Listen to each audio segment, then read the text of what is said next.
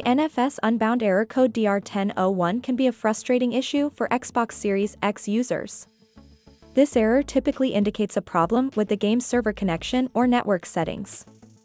Fortunately, there are several steps you can take to resolve this issue and get back to enjoying your gaming experience. In this video, we will walk you through the troubleshooting process to fix the NFS unbound error code DR1001. First solution, check for server issues. Before diving into any troubleshooting steps, it's important to check if there are any server issues with the game.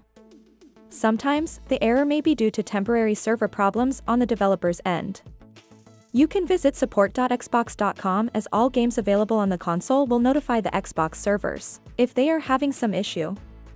If there are reports, you may need to wait until the issue is resolved by the game's developers. However, if NFS Unbound isn't one of the games with issues, then try the next solution. Second solution, check your internet connection. A stable and reliable internet connection is crucial for online gaming. Ensure that your Xbox is connected to the internet properly and that it has a stable and fast connection. To do it, press the Xbox button on your controller to open the guide. Then select Profile and System, and then Settings. From there, select General and then Network Settings.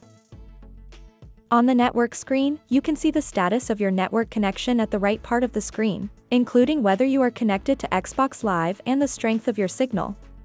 You can also try restarting your router or modem to see if that helps. Additionally, if you're using a wireless connection, consider using a wired connection for better stability. Third solution, turn off crossplay. Crossplay allows players to compete with others across different gaming platforms. However, sometimes enabling crossplay can lead to compatibility issues and server errors. To troubleshoot the NFS unbound error code DR1001, you can try turning off crossplay in the game's settings. To do that, launch the game, and when you're in the main screen, select Settings and Accessibility. Select Game, and make sure the option Enable Crossplay is off.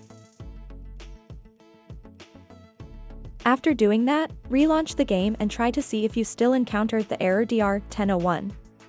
If you still do, then move on to the next solution. Fourth solution, delete the game's cache. Corrupted cache files can often cause errors in games. To try and fix the NFS unbound error code DR1001, you can try deleting the game's cache on your Xbox. Here's how you can do it. Press the Xbox button on your controller to pull up the side menu. Select My Games and Apps and then See All, to view all your games. Highlight NFS Unbound and then press the menu button on the controller. Select Manage Game and Add-ons. Now select Save Data and then select Delete All to remove the cache of the game. Deleting the game's cache can remove any temporary files or data that may be causing the error. In most cases, these procedures are enough to fix the problem. However, if you still encounter the error even after following them, then you should try uninstalling and reinstalling the game. We hope this troubleshooting guide can help you. Thanks for watching.